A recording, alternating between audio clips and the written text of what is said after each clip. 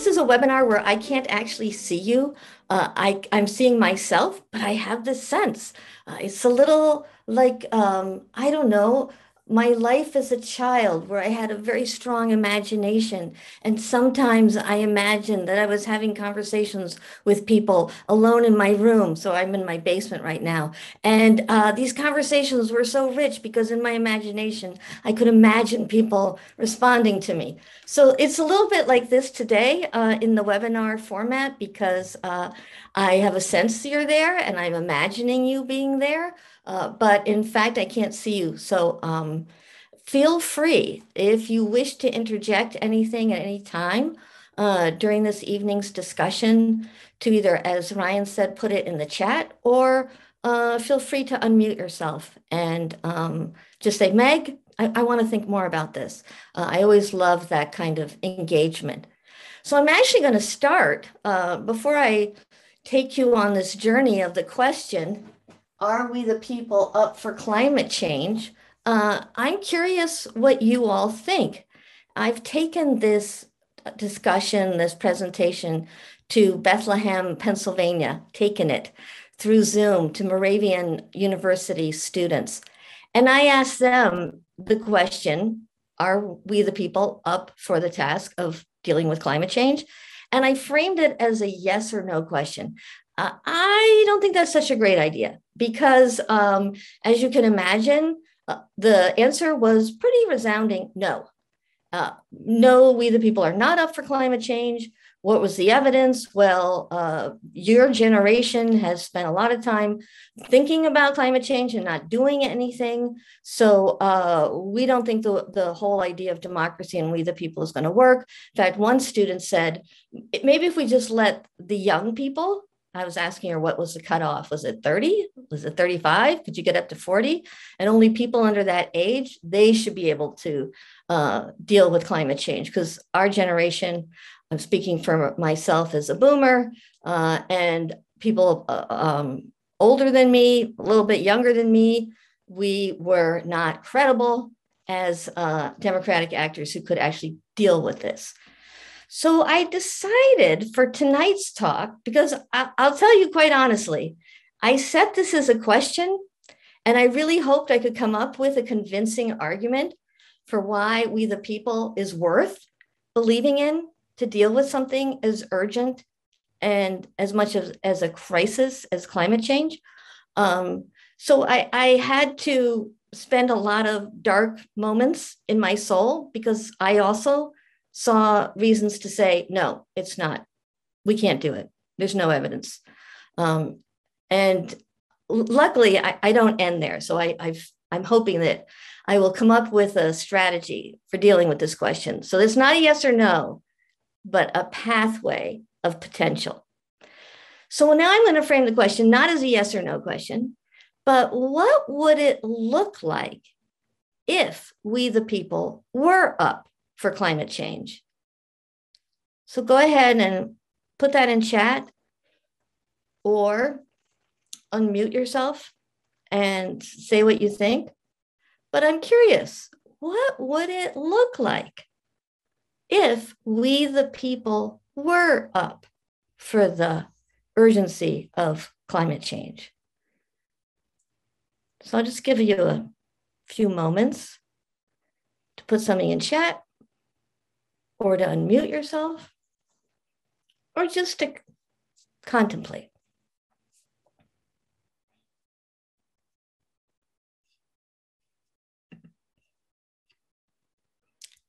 Uh, I've gotten one. I don't see evidence in Congress among the people who talk the most.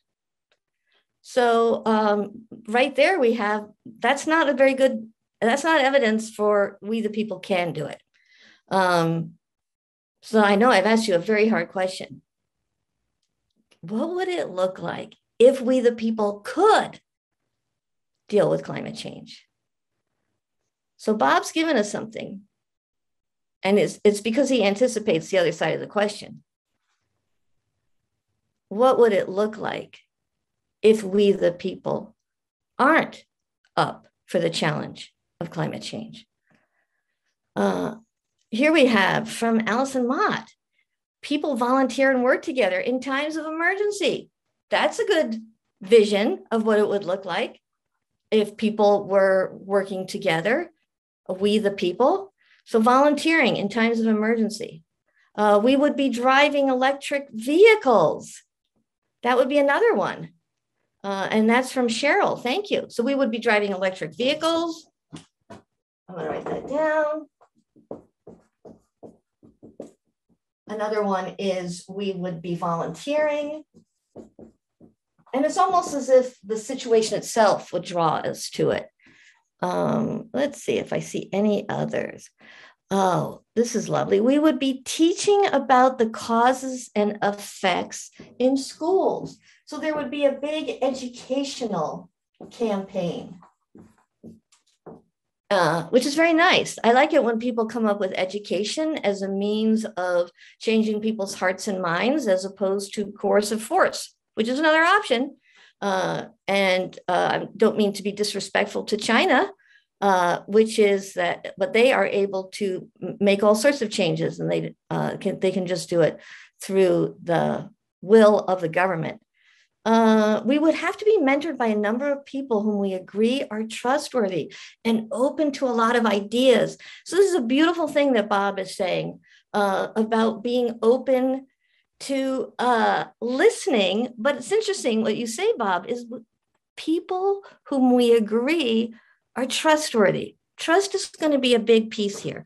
I'm going to put that in pink to indicate how important it is.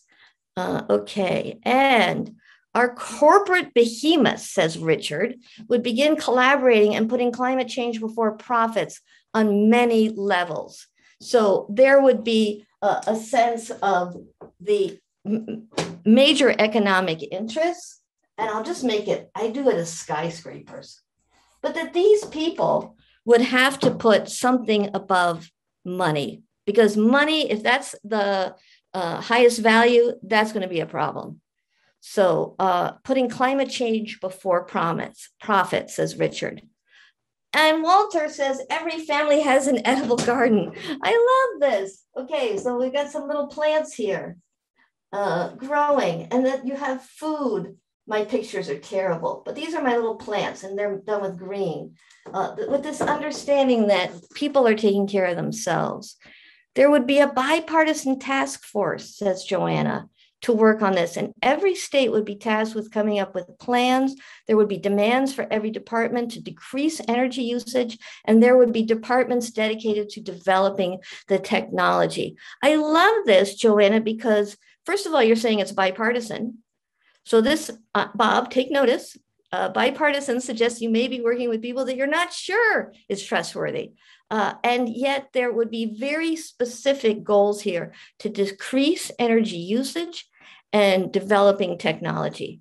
Uh, great. Okay, so this gets us some idea on what it would look like were we the people to really take this on and increase investments in alternative energy initiatives, as Richard, and educational targets for improving climate change awareness. So Richard is also agreeing with this idea that uh, education is going to be key. key. Um, and then Marquetta, these are beautiful. There would be trust among people. Wow. There would be trust among people. For we, the people, to actually do this, we would have to have trust. And it's not just trust some people, we have to trust each other. All containers would be recyclable, says Cheryl. We would institute carbon credits, right? Tax reasons. Um, okay, this is fabulous. Thank you so much. We've got lots out here. Feel free to keep going. I'm going to move on to the next dark side, though. What would it look like if we, the people, are not, are not up to this task? What could you imagine it would look like? So I'll give you a, a moment to think about that. Although Bob did say um, it might look like Congress that can't do anything. All right, let's see. We've got what we have now, says Cheryl. What we have now, that's what it would look like. Um, Media Consortium would, with advisors, prepare a series of succinct explanations on video of the ecosystem and weather systems and how they work. Action points would be shared in many public service announcements. I love all these ideas. They're so specific. Uh, I was once told by a marriage counselor if you want to improve your relationship, you should use positive, specific, attainable goals. And um, so what Marnie has put in the chat. So that's on the that first side. But the dark side would be um, my well ran out of water this summer, third time in six years. Yeah, what would it look like? Running out of water. No flood insurance, says Walter. Much worse and more dire, especially bad in poorer countries, says Joanna short term focus on future and mostly on economic outcomes. SMART acronym. What is SMART acronym? George has weighed in on this other side of like what, what would it look like if the people can do it? Gardens would become more popular, also hunting and fishing. So not only are we um, going to be growing our food, we're going to go into the deep forest with whatever it takes in order to bring in meat. So um, the, the there's definitely a vision of what we can do. A lot of it appears to be local um, and local action, self sufficiency. All right. So, what I'm going to do now, because this gets us going, thinking about what the task is in front of us, um, knowing that, as Susan just put in chat, continued extreme weather patterns resulting in disasters, that that's the other side of climate change. So this is not an academic question. Um, I have been talking about the Constitution since the 2016 election with an idea of wanting to bring people together to talk about uh, founding documents and see them as uh, a place that we can find common ground, even though we may have very different points of view.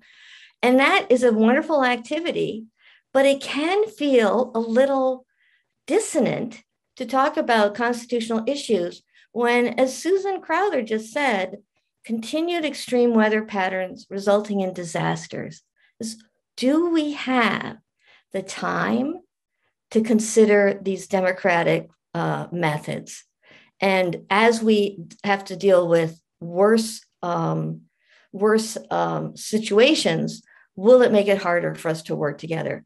And thank you, George Putnam, uh, for saying what SMART stands for specific, measurable, achievable, relevant, and um, oops, now I've lost it again. Uh, relevant and time based. So that if we wish to make suggestions for each other, the more specific we can be, the more measures, more we're able to measure measure data, uh, achievable, relevant, and time based. Uh, great. Okay. So now I am going to share my screen with you. Uh, and we're going to look at the preamble, like where did this language come from? We the people. And then I want to take us through some ideas of what does it mean to be a member of a we the people? Um, and, and then I'll come up with four different ways of considering we the people.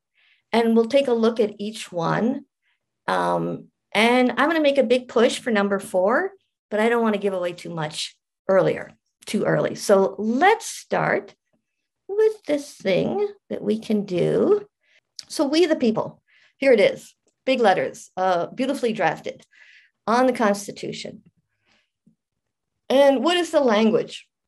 We, the people of the United States, in order to form a more perfect union, so not a perfect union, a more perfect union, establish justice, and I've um, capitalized any word that appears as it appears in the Constitution. So, justice, establish justice, ensure domestic tranquility,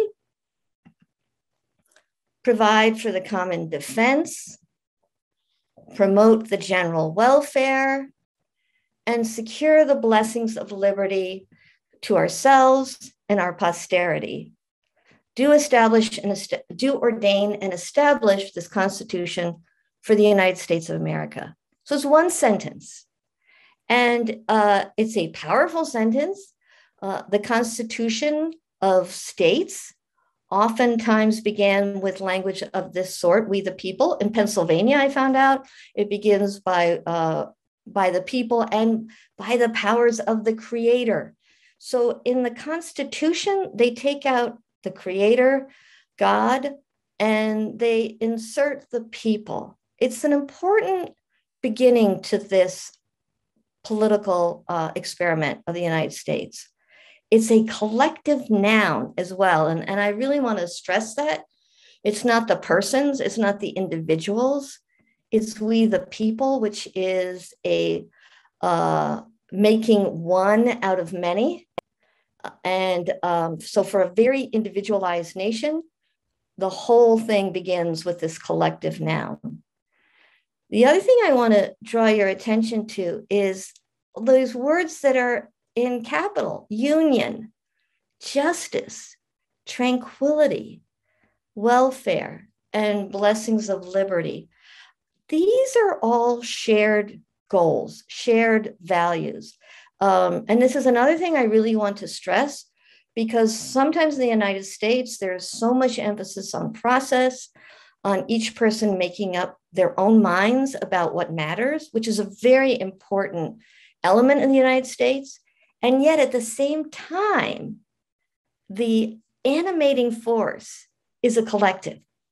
So, blessings of liberty, and we might think of that as getting on the level of individual rights, uh, particularly property rights, but also free speech, uh, freedom of religion, and others that were eventually set forth in the Bill of Rights.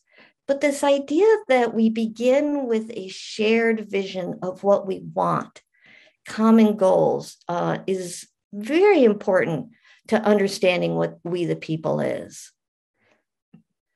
Um, so there's four different ways, as I mentioned, to think about who are we the people? Well, one is to think of it as an assembly of political actors. And the place where that would happen would be a town hall or Congress, um, any deliberative space where people come together to discuss public matters. So that's number one, the political understanding of we the people. The second way of understanding we the people is as an aggregation of economic actors. Uh, and there's been a long tradition of understanding us in that way as well. So um, if we go back to uh, an assembly of political actors, that goes back to Aristotle. But understanding we the people in economic terms uh, could go back to Adam Smith and people who understood markets as, as providing a way to distribute decision making. So markets, if they are acting in a somewhat moral way, if I'm going back to Adam Smith, it allows for individuals to decide for themselves what it is they need to do. Um, so that's the second way of understanding. The, oops, the third way is a militia of revolutionary actors. And that's key for the United States, the battlefield, because the first time we hear we the people or the rights of the people, it's in the Declaration of Independence, and it has to do with altering or abolishing the government. So we the people that collective right has a revolutionary component. And finally, and the one I'm really going to hang out with this evening is a web of moral actors. And so I see that as happening within an ecosystem. So the fact that you guys are talking about gardens and forests uh, I, is absolutely right. So let me take each one of these one, two, three, four.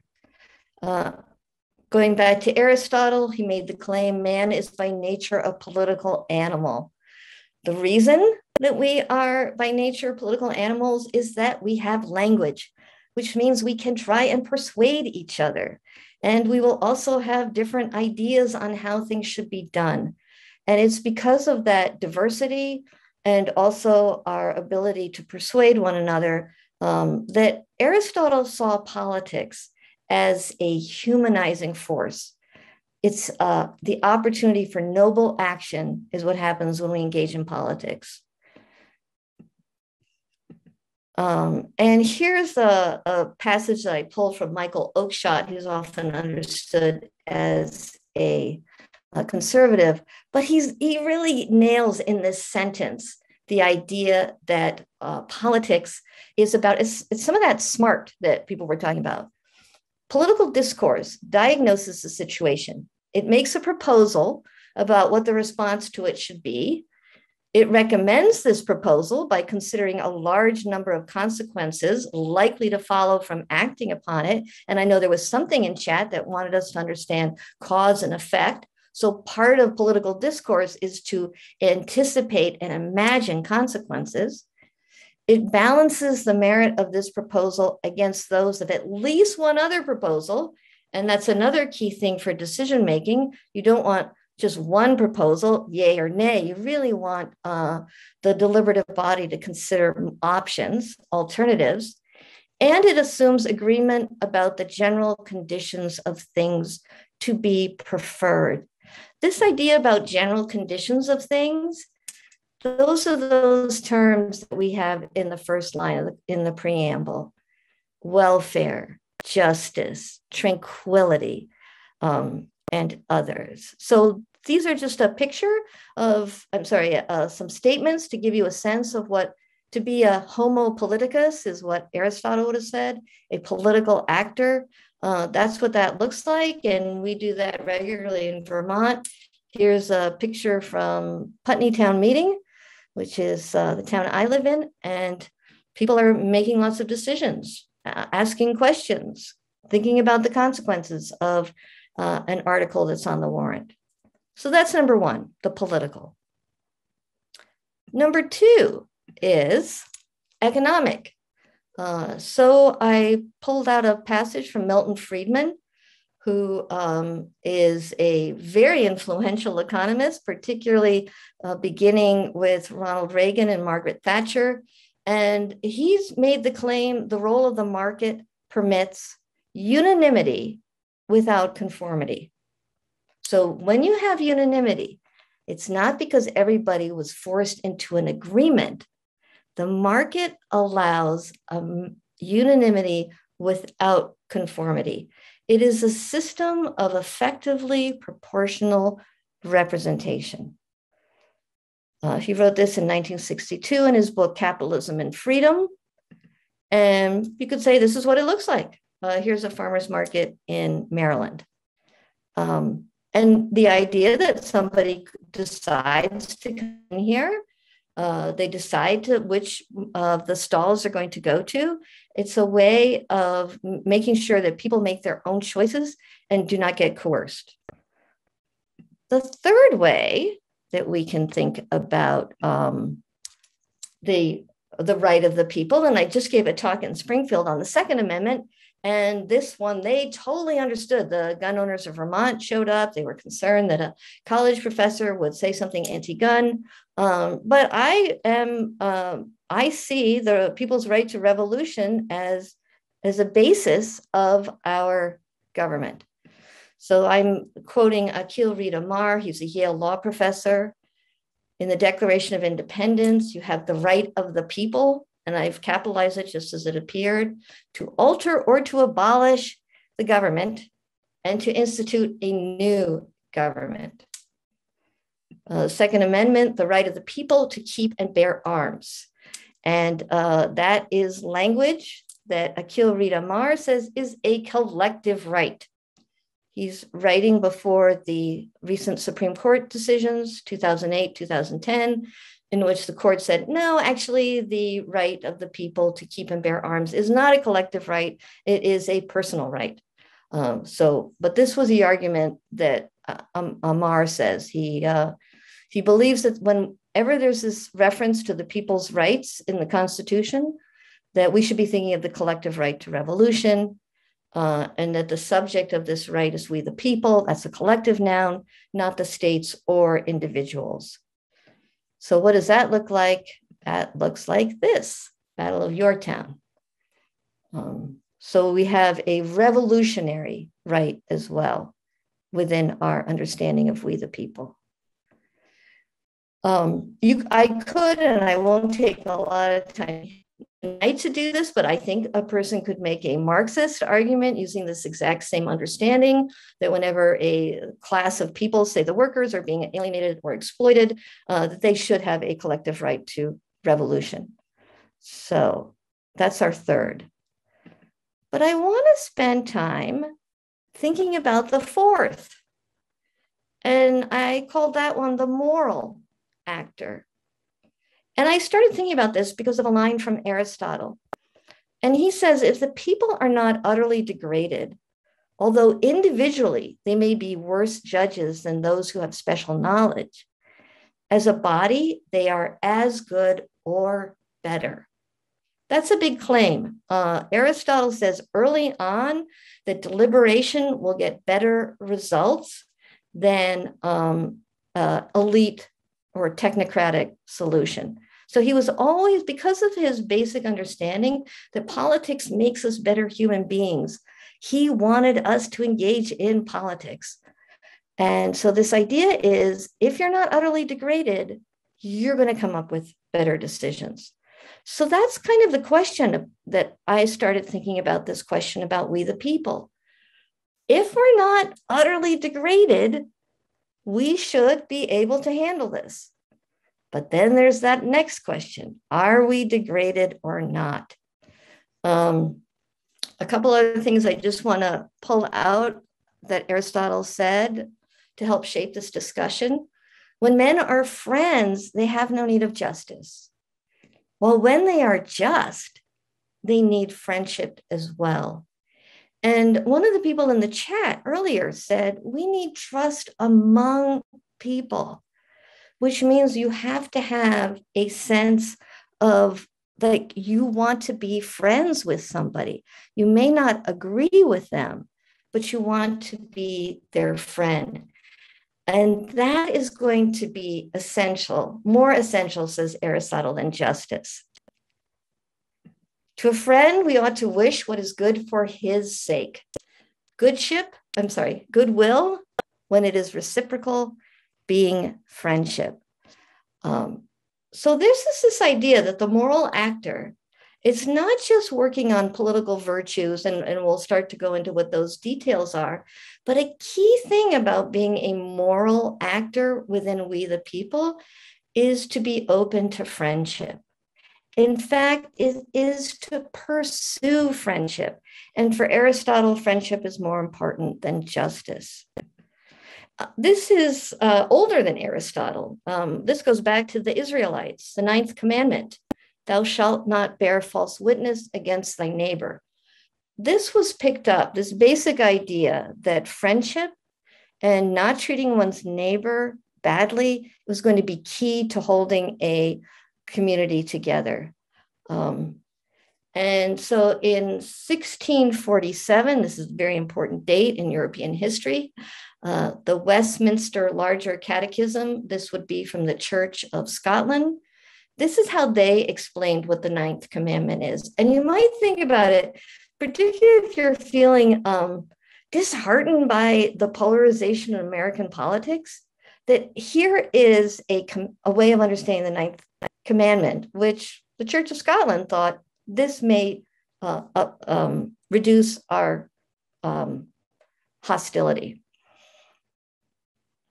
A charitable esteem of our neighbors loving, desiring, and rejoicing in their good name, sorrowing for and covering of their infirmities, freely acknowledging of their gifts and graces, defending their innocency.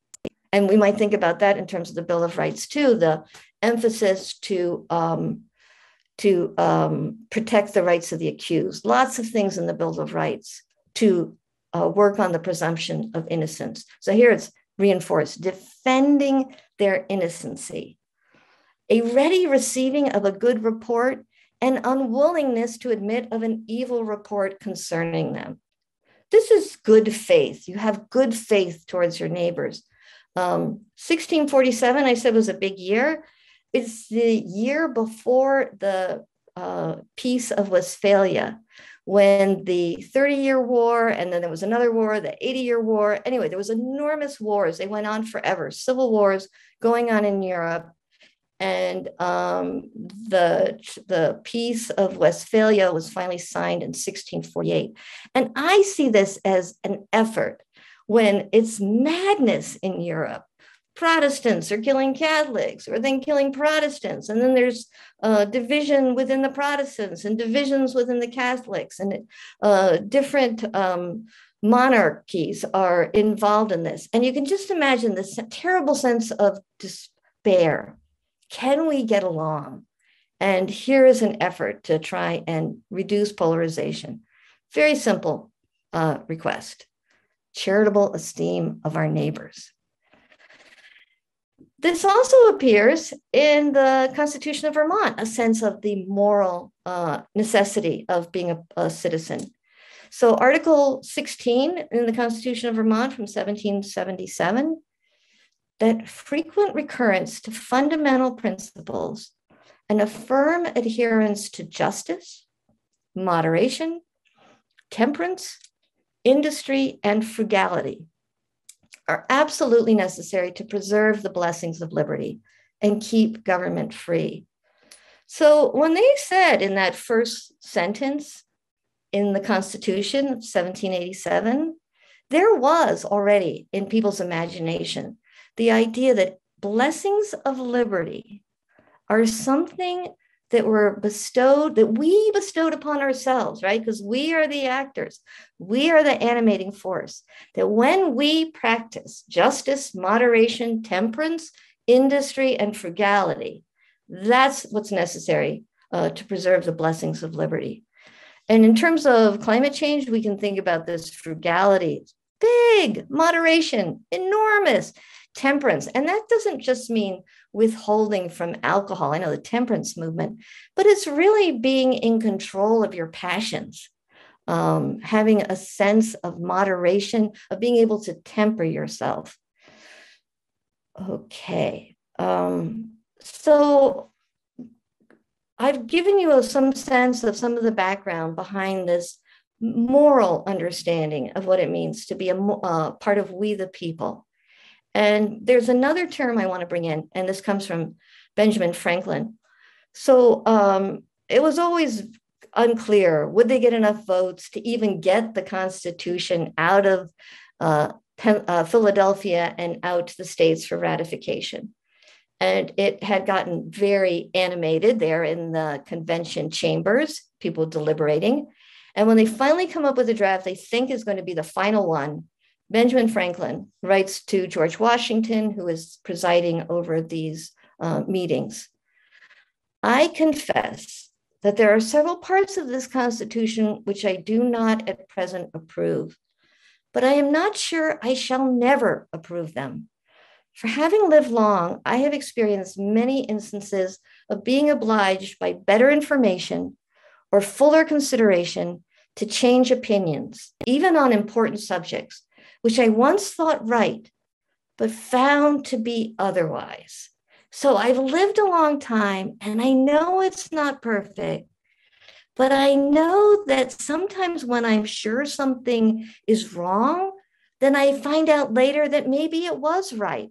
Um, on the whole, sir, I cannot help expressing a wish that every member of the convention who may still have objections to it would with me on this occasion doubt a little of his own infallibility and to make manifest our unanimity. So there's that term again unanimity of one spirit to put his name to this instrument.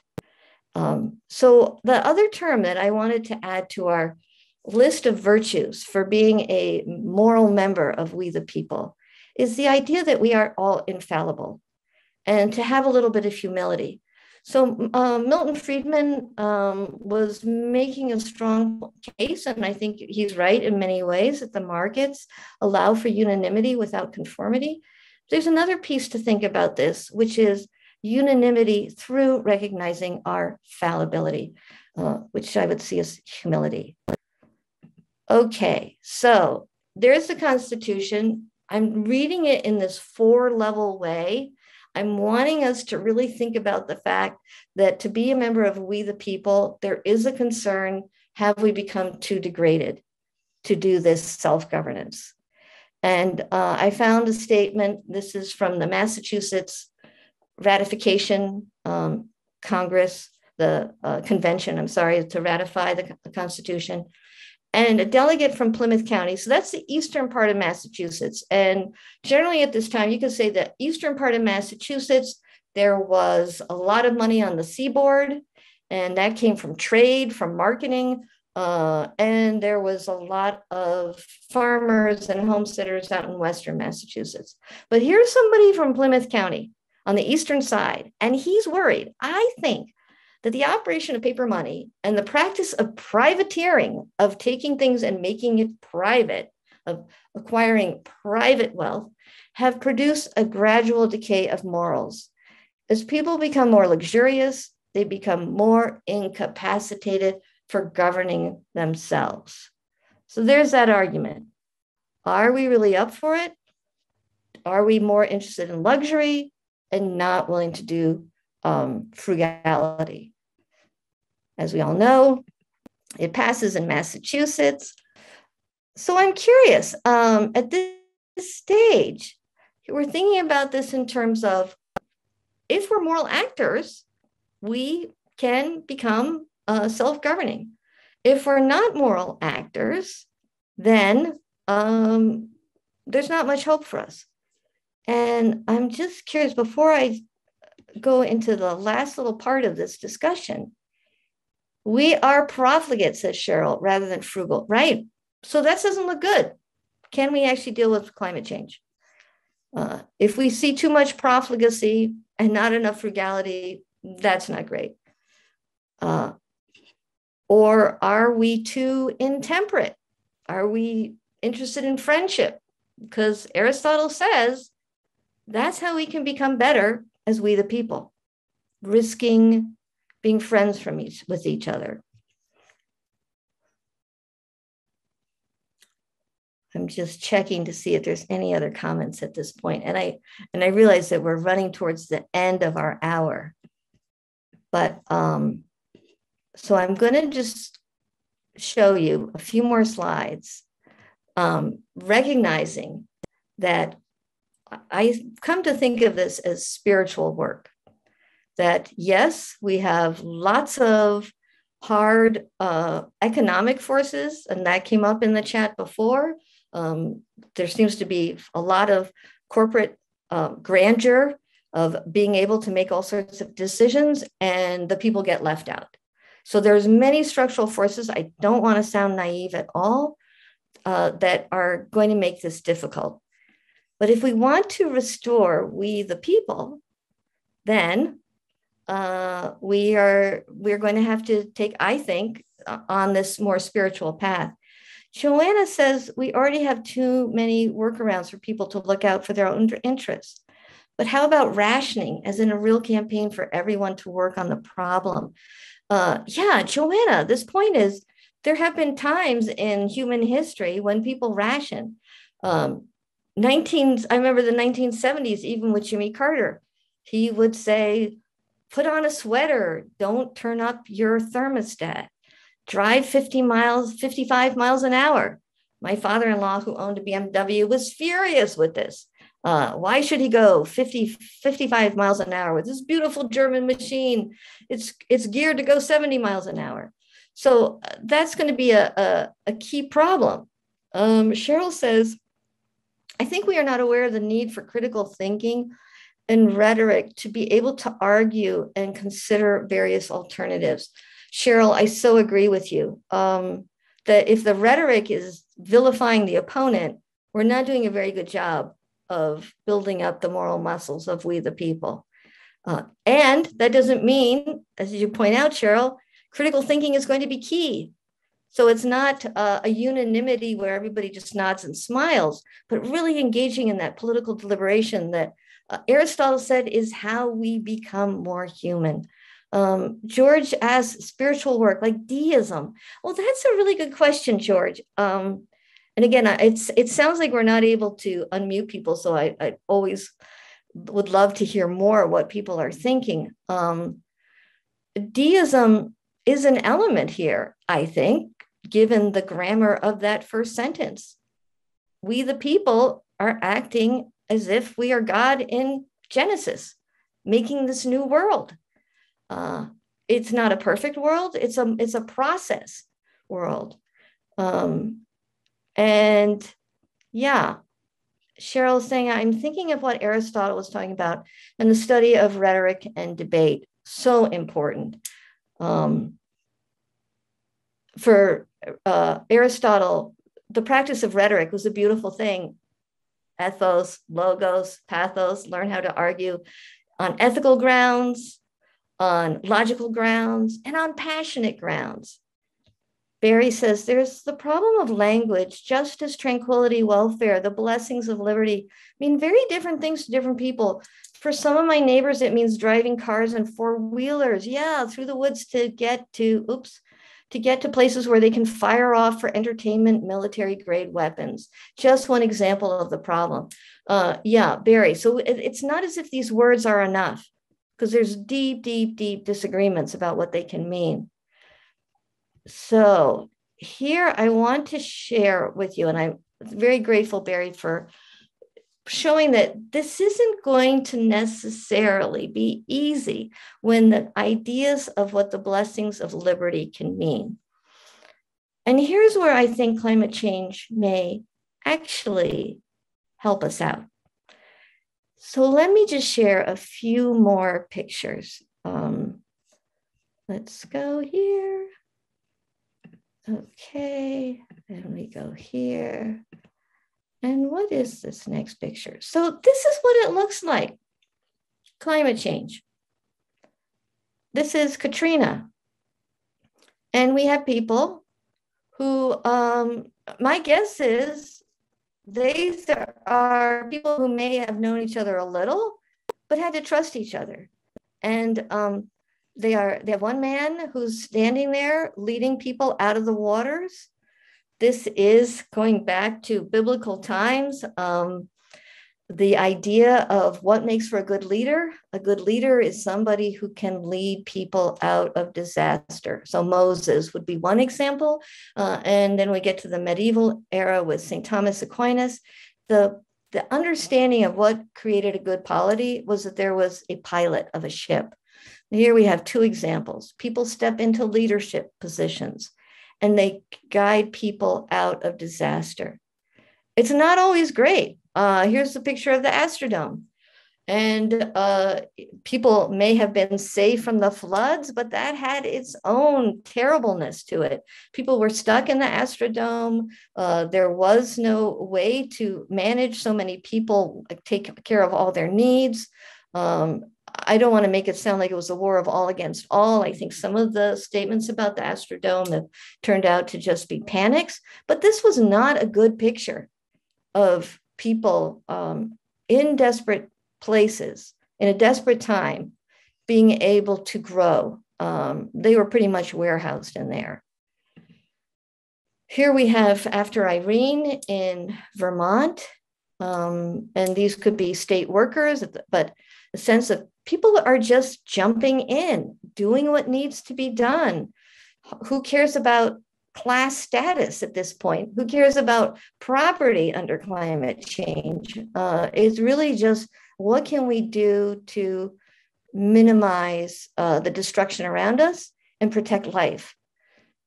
Here is Oregon from this summer. Um, I see climate change as changing what we think about property government for Milton Friedman and other uh, peop- uh, people who think about the advantages of democracy for capitalism put property rights as a very high right. Uh, sometimes people would say is the high higher than any other right when people are talking about the blessings of liberty. But look at what climate change is doing to property. It's taking it from something that is a mass to something that can be lost. And um, so I wanted to just give you uh, another way to think about this this project. What I'm suggesting, um, I'm not the only one to suggest this. But uh, the idea that this, as I say, begins with Aristotle. And here, uh, Martha Nussbaum, uh, one of our great American political theorists who relied heavily on Aristotle for a lot of her positions, to be a good human being is to have a kind of openness to the world, an ability to trust uncertain things beyond your own control that can lead you to be shattered in very extreme circumstances for which you are not to blame. Um, so there's this peace, this openness, even in really difficult circumstances. And things are beyond your control, but you're building this muscle inside, this openness. So when I uh, thought about that passage, and, and I'll give you one other from her, um, I was thinking about volunteers. Allison mentioned that in the chat earlier. This is, um, I think, sorry, I can't remember when this one happened. I oh, here we go, Oregon. So this is after the fires.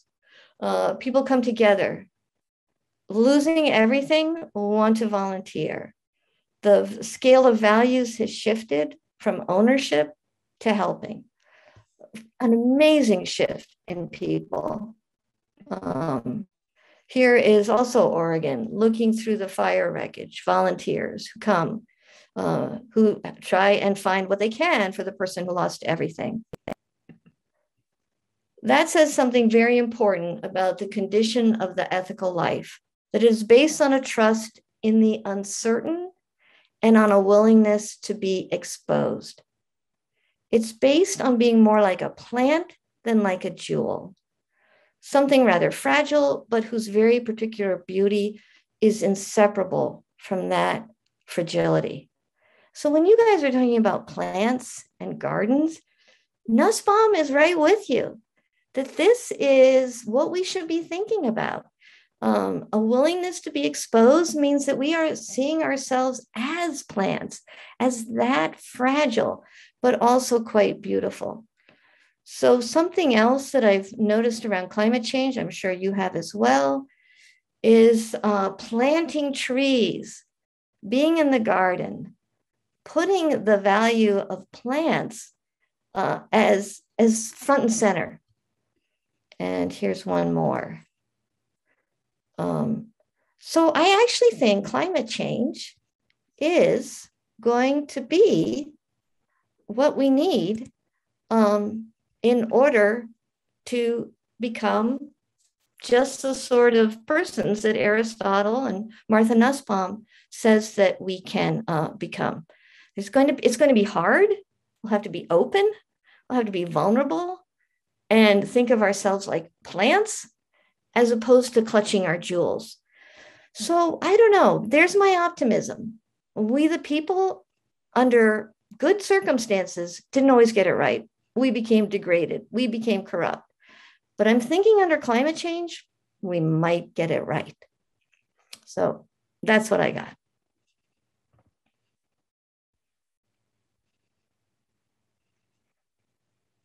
And Okay. Plants love CO2. it's George Putnam. Yes. Meg, thank you. To everyone who's here, I think we can't unmute you. We we were trying, we're going to work this out. This is a new platform. It's the webinar version and we're still getting used to it. Um, so I think, Meg, we would need someone like you to give us a be optimistic, be engaged, be a little fragile, don't fall into despair. Pep talk every time we go into having group discussions about any of these tough topics because if you start by being a little more disarmed that's mm-hmm. a helpful. It's a it's a help at least to me. Yeah. Yeah. Yeah. And uh, bob thanks for saying that. And since you're in a library i i always make a plug for this book which just came out high conflict amanda ripley and what she studies is uh, conflicts that people are stuck in. The subtitle is Why We Get Trapped and How We Get Out. So she has some evidence. But what you said, Bob, is absolutely right. The best thing you can do in a really tough situation is try this out for a sentence to, to somebody you don't agree with. you may be right. Let's give it a try. And all of a sudden, things change. Uh, so let me put this book in chat. Let's see, am I able to do this to send chat to everyone? And it is Amanda Ripley. Published this year. She even talked to Congress. Uh, there's some committee in Congress. It's called the um, Committee on the Improvement of Congress. They brought in Amanda Ripley, um, some of the people with Braver Angels, if you know that uh, network. And they basically sat down with this committee of senator, I'm sorry, uh, representatives, um, Republicans and Democrats, and thought about what are the specific ways you can depolarize conversations in Congress. Give it a try.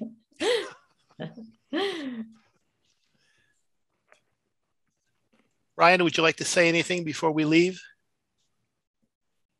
I, I don't believe so. I was just um, really grateful for, for Meg's talk, and I do want to put a plug in for uh, we will be having more of a freewheeling discussion uh, around these, these topics as part of our fall conference. Uh, this will be Wednesday night. It would be the, is that right, Meg? Let me just look at the calendar really quickly. I believe that is.